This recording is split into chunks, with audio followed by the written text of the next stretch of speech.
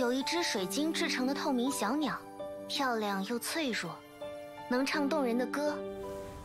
但平凡的人们看不到它，觉得那是骗术。世上怎么会有透明的鸟，又怎么会唱歌？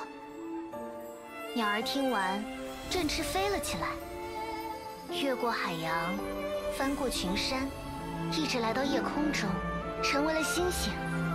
它的光辉异常夺目，足够照亮所有人。他允许所有看得见他的人，跟随光芒穿越夜幕，循着星辰驶过海洋。但于智慧，困于愚昧，他从不抱怨，这是他的命运。而引导人们看见命运，正是他的意义。